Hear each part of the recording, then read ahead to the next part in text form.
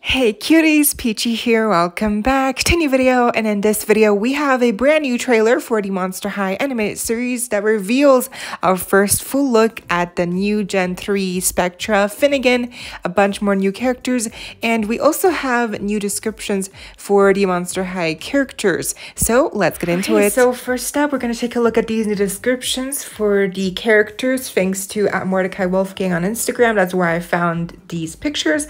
So first we have Clawdeen. And here it says Clawdeen Wolf. It even has like the pronouns for every character. That's really nice. It says, as a biracial human who finds out she's also half. Wait, as a biracial human who finds out she's also half human, half okay, that that's weirdly structured that sentence. they mention okay, anyways, half human, half werewolf. Clawdeen's used to defying the boxes that others want to put her in. Embracing the vastness of her ident identity has its challenges, but she has the bravery and determination to do it. In all the adventures, the uh, in all the adventures the Boo crew find Clawdeen relies on her werewolf powers. In acute sense of smell and hearing help her follow clues while her enhanced speed and strength allow her to take down anything in her way. But she's more than just a powerful monster. She's geeky, inquisitive, and appreciates a good pun. Okay, so yeah, that at the beginning threw me off. But anyways, so yes, she is biracial. You know, she's also Latina that's great uh i don't really uh, to me that still feels like like that's just something they added on like last second because it's nowhere to be seen in the movie or at least i missed some kind of hint i don't know. Um but it's it's great nonetheless and you know she discovers she's half werewolf that's awesome.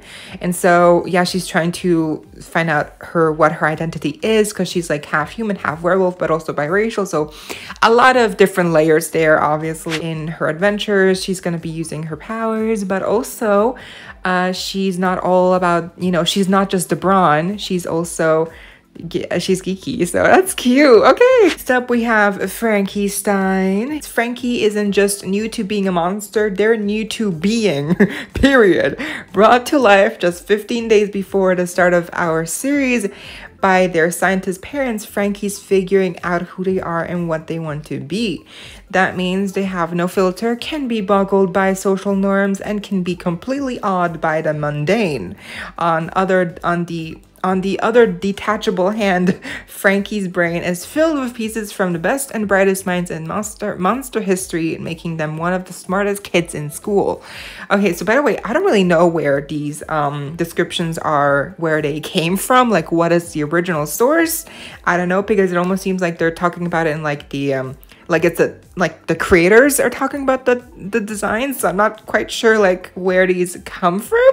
But yeah because here you can also see it says main character so it's like they're talking about the show but like they have the picture of the doll here so anyways uh that's cool. We already knew all of this. They're gonna be like very like new and like discovering basically like the fish out of water. Next up we have Draculaura Draculaura's text is huge so let's try here. Draculaura, the, rev the revered daughter of Dracula, is smart, chic, confident, and gliding through on the life, or so it seems. Beneath her perfect exterior is a big secret. She wants to be a witch. Draculaura believes in the world's potential, wants to improve society, and engages in activism. She is passionate about equality and wants to help everyone, including her two beasties, Clawdeen and Frankie. As a perfectionist, Draculaura only ever ever reveals her best side. But little by little, her friends are breaking down her walls and helping her overcome her insecurities so she can be her authentic goofball self. So it seems like, yeah, like she has a lot of insecurity. She's putting up a facade. You know, she's like, yeah, I, stuff like this that we already saw in a live action movie as, as well. So that's cool that they're really bringing those two projects together. So I want to see, I can't wait to see here what they actually mean by activism. Like, um, I hope we get to see that in the show. We have Lagoona. Lagoona, a sea monster, grew up in a remote Castilla dreaming of the world beyond. That, that reminds me of like The Little Mermaid, that whole sentence. like the world beyond. When she gets to Monster High, she doesn't know much about life or love, so she fills in the gaps with romantic fairy tales and high drama telenovelas. no way. Them mentioning telenovelas, that's that's that's so cool. I love that. When faced with a disagreement, she goes into shark mode and reveals a huge number of needle sharp teeth. She may be cute, bubbly on the outside, but Lagoona is the most bloodthirsty monster at school. However, she's working through this and learning what it takes to be in a relationship, whether it's romantic, oh, or between friends. So, this hints that Lagoona might be involved romantically in the show. With whom is Gil coming back? I think he might be. Then we have have Deuce. Deuce, the son of Medusa, is known by his sunglasses slick style and the seven snakes that live on his head, each representing one of the seven deadly sins. Okay, that's cool. He's a monster's monster, or so he wants you to think. He may have a chill, cool exterior, but he's actually a little darky deep down. Deuce loves to take care of people and help out whenever possible. He longs for meaningful connections and is learning to stand up for himself against the constant peer pressure from his snakes. Oh my god, that's so cute that he's like longing for connection. Oh my god, that's that's so genuine. Oh my, so pure. I really hope that he, you know, he's he's treated well in the show. Um, and then it yeah, it seems like he's getting bullied by his own snakes that's going to be interesting uh, dynamic to see how that works with his snakes being like literally on his head and he cannot get rid of them. Then we have Toralei. Toralei, the school's bad girl, Werecat believes she's a modern hero by standing up for proper monster values.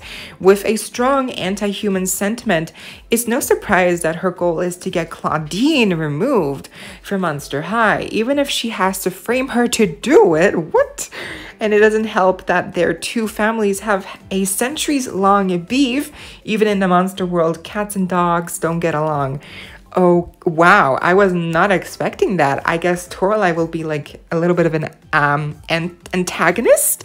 Uh, I mean, I mean, I mean, literally, they describe here that she doesn't care if she has to frame Clawdeen for doing something awful. So that is gonna be juicy to say the very least. Next up we have Ghoulia. Here it reads, This zombie is anything but brain dead, curious, clever, and with fast fingers, Ghoulia's the top gamer at Monster High.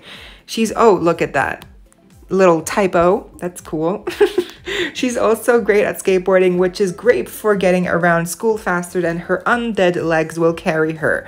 If only she was as good as stopping. Good thing zombies can't get hurt. So that's cool. I guess she goes a little too fast on her skateboard and then she can't, you know, stop anymore. And then lastly, we have Cleo here. It reads, Cleo, the daughter of the mummy rulers, knows she was destined for greatness. After all, she's second in line for the royal throne, behind her older sister Nefera.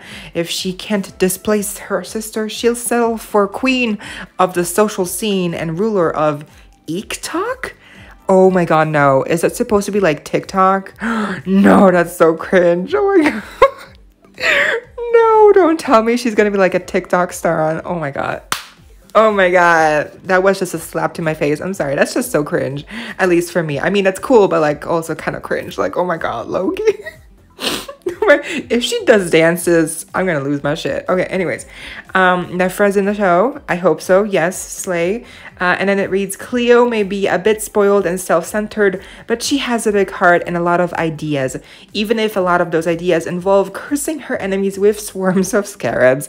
Yeah, since remember, she has a new power with scarabs, so that's cool. Okay, and now let's move on to the trailer. So we're gonna look at the new shots only. There's some shots that are, that are repeats from the last trailer. So here we start off with a new uh, out, outer exterior outer shot of the school, we can see the main ghouls here, Frankie, Clawdeen, and Dracula. And look, there's Deuce as well. It looks like he's almost maybe showing them around because they're new they're the new ghouls at school.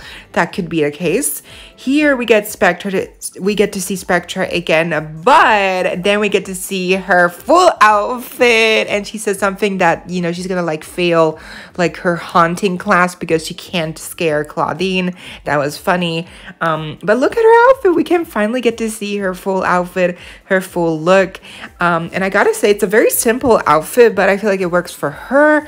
And honestly, with these new designs, I do feel like simple is sometimes just better. You know, doesn't have to be too overcomplicated. And the original Ghoulia, I mean Spectra, her outfit is simple. It's just a skirt, uh, a belt, a top, and that's it. Like, it's very simple. So, Spectra's outfit here does remind me of her original outfit very much. I like the poofy sleeves, the collar, and then everything else is just like a one piece, uh, I guess like um, jumper, like bodysuit kind of situation.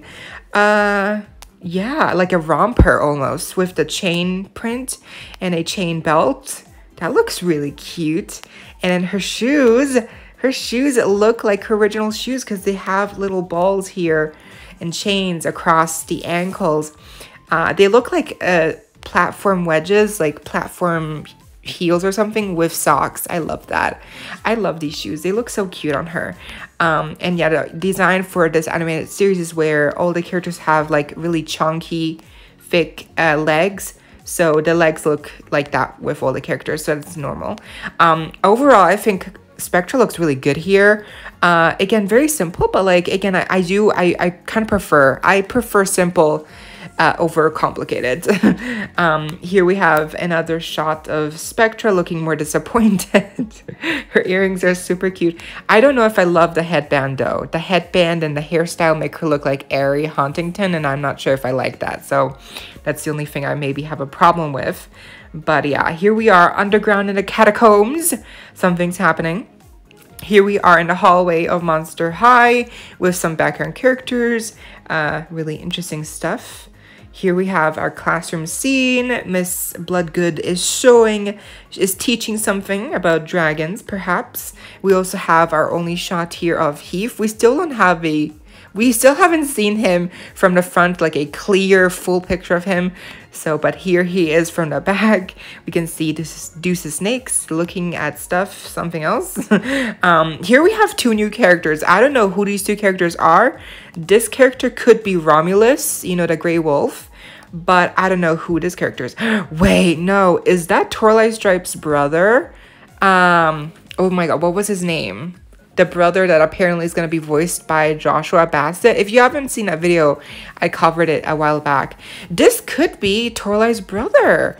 Uh, and this could be uh, Ro Ro Romulus. Romulus. So that's that's that's who these could be. They look like werewolves, so that's they could be these characters, or I could also just be completely wrong. But they look cool. Uh, they're skateboarders. Here we have another classroom scene with Spectra, Frankie, Draculaura, Toralei, and Deuce. They are holding a orb, and we have a closer look here at Spectra sitting down. Her shoes, oh my god, her shoes look so good. See what I mean? The orbs are like the heel portion. They look so cute. I love that. And here she is with her eyes open. She looks so cute. I do like her. I feel like the design for her is very simple, but again, it works best for her. And um, yeah, I really do enjoy her. And Deuce looks so cute as well too. They all look great. Oh my god, honestly, yeah. And like, what is what is what is happening here? Well, anyways, oh yeah, the uh, werewolf, werewolf character here is again in the back background. Interesting. Oh my god, here's like a cute scene where they're all hugging. Adorable. Here is Deuce taking selfies on top of a tombstone. Uh, he's doing something interesting with the snakes. They look like antennas or something. That looks cool. Um, here's Cleo. We finally get a full picture of Cleo here. Her full outfit. I love the outfit. It's so cute. I like the wrap details and the, the wedges for her, her purse. Um, here in this scene, she's saying something about how, you know, she, Clawdeen is like um, a superstar or something. So that's interesting that perhaps these two are actually not not enemies, they're actually friends right away. So that's gonna be cool. Uh, yeah, see, she's like kind of like doing like a roar, like clawing motion. I don't know what's happening here, but she looks great. I love her. Uh, Clawdeen seems to like her too, I guess. uh, here's Draculaura kind of like summoning some spells. Um, here we have Miss Bloodgood on her desk, and I guess she has an extra little chair for the head only, which is hilarious. I love that. Uh, here we have part of like the earlier scene where they are all together. So cute. Here we have Frankie slipping. Look at the leg just flying off. uh, Frankie, yeah, the, here in this scene, Frankie mentions how it's hard to beat them and that they wish, you know, and then and then Clawdeen says, eh, well, at least you don't sweat as much because apparently Clawdeen sweats a lot. So maybe too much information, but okay. Look, here we are in a catacombs 2 or something similar. Interesting. Here we have Frankie kind of like vaulting, vaulting out or something, bolting out. Too much energy. Uh, and here we have our first look at Finnegan. Yay! So he's gonna be like in a band with Frankie. Oh my god, I hope so. It'll be so cute. He looks great here. Um, and then we have Watzie, our first look at Watzie. Oh look, the snake just ate the whole ice cream scoop. That was, yeah, that's ridiculous. Oh my god. Look, these two characters here again, they're skating all the time. We have Cleo here in the background as well. And in here we have Spectra. They're going through Spectra apparently, which is okay. Wow. Not, maybe not, may, maybe Spectra can't feel it, but it looks like she's having a good time. She doesn't mind at all. Here's her purse. It's like a chain. That's cool. Uh, her eye coffin too, we can see it a little bit better. Because uh, you know they're going to make her into a doll sooner or later, like for sure. Here we have Deuce, kind of like at a carnival perhaps or something, shooting lasers. Not he's shooting his uh, glare or whatever, stone glare. Uh, and here we are at a basketball court or something. I don't know why Frankie and Deuce are trying to stop Clawdeen. So let's see what that's about. Um, and what is this about? Deuce is fighting a camera? What? Okay, anyways. Uh, yeah, I don't know what's happening here. But yeah, it's premiering Friday, October 28th. So that's But awesome. yeah, that was the video. I hope y'all enjoyed. Be sure to give me a big thumbs up if you did. Leave me any thoughts or questions you may have down below. And as always, don't forget to subscribe, hit the notification bell if you haven't already so you don't miss out when I post more Monster High doll news, doll reviews, uh, animated series news, a bunch more content coming your way daily and keeping you up to date with what the doll you love. Stay safe, be kind. I hope this next time. Stay peachy. Kisses.